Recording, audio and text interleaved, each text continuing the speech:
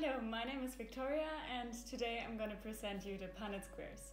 This is a continuation of yesterday's video which was about the basics and introduction of genetics, so if you haven't seen that yet, maybe that's a point to start with. Uh, I hope you're going to learn something and let's start with the video.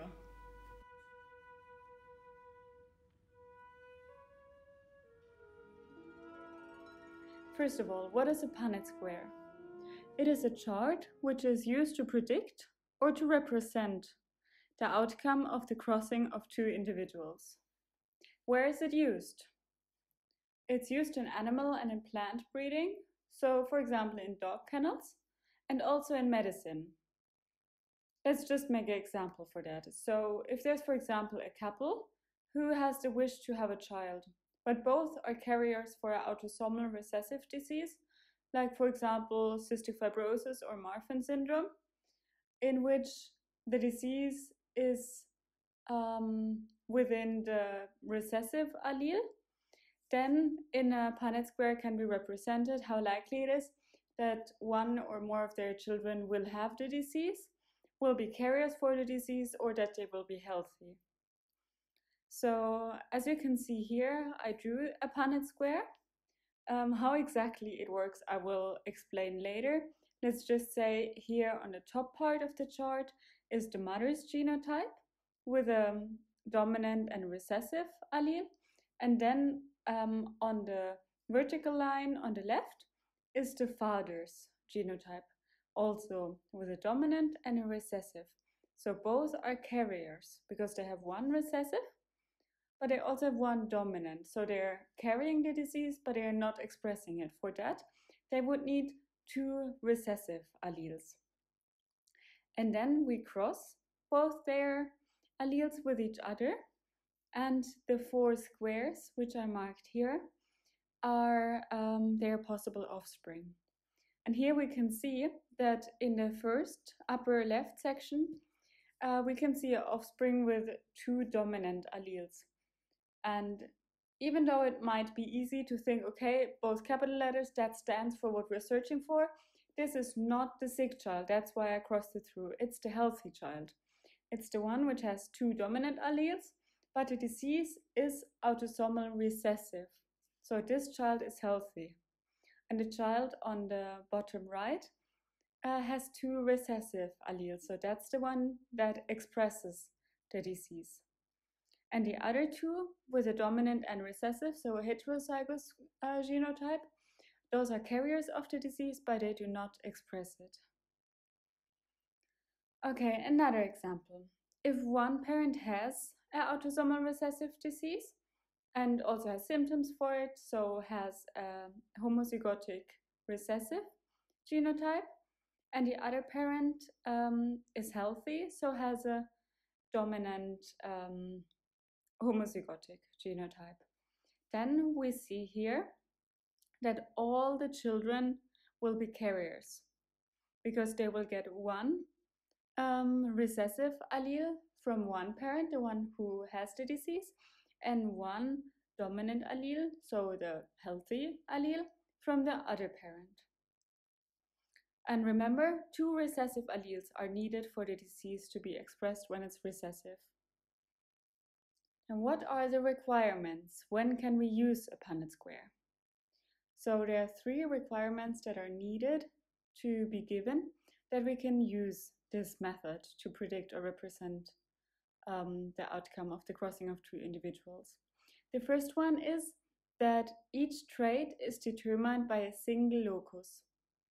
Remember in the last video about the basics of genetics, I explained a locus is a place on a given chromosome. Then the next requirement is that the traits are inherited independently from each other.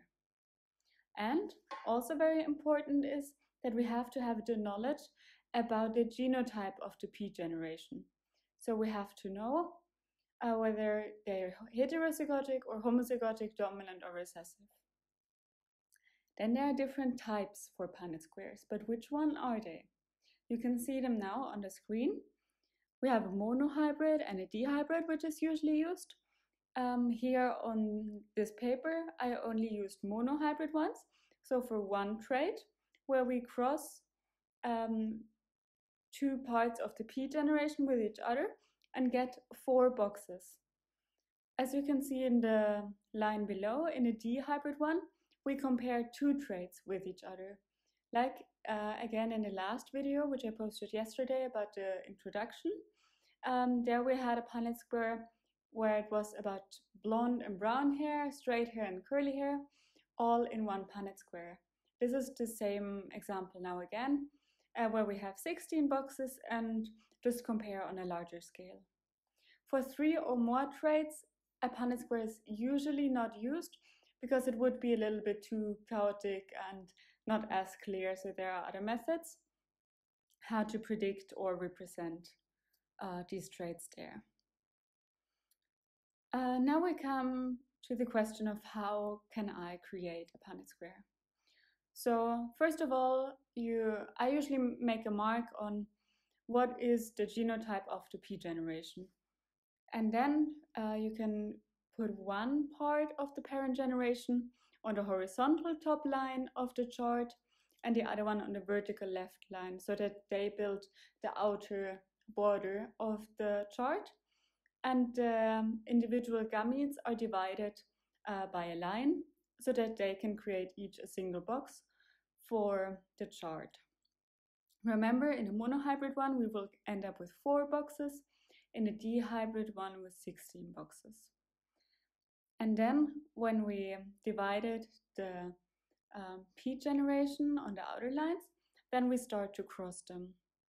We use the most left one of the horizontal line of the parents, which is here a small a, and then we cross it with the first one of the vertical line, which is here a capital A, and then we write them together in the first box. And uh, remember here that always the dominant allele, so the capital letter, is written first. So here we write capital A and then small a. So here we have a heterozygotic genotype.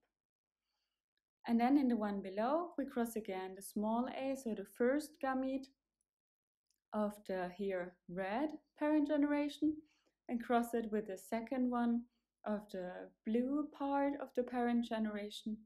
And here we get a homozygotic recessive genotype. Uh, I've written down everything here on the right side of the chart so you can revise it again I think the rules for this should be clear now. And what does a Punnett square exactly show? Or what does it not show? It does not show how many offsprings a P generation will uh, generate or will have.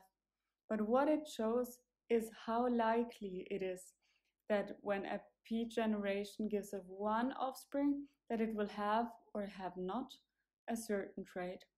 Like for example, in the example we had before with the parents with the autosomal recessive disease, uh, when both were carriers, then we had a um, probability of 25% that a child will suffer from the disease, 25% that the children will be healthy, and 50% that the children are carriers. This can be represented and uh, seen depending on if the offspring is homozygotic or heterozygotic for a certain trait, and if they're dominant or recessive. Uh, remember, uh, one dominant allele makes automatic uh, dominant phenotype, and two homozygotic recessive are needed to express the recessive trait phenotypically. So that's it for today's video. I hope you learned something. And if you liked my video, I would be very happy if you could subscribe and uh, with that support me to continue with my videos.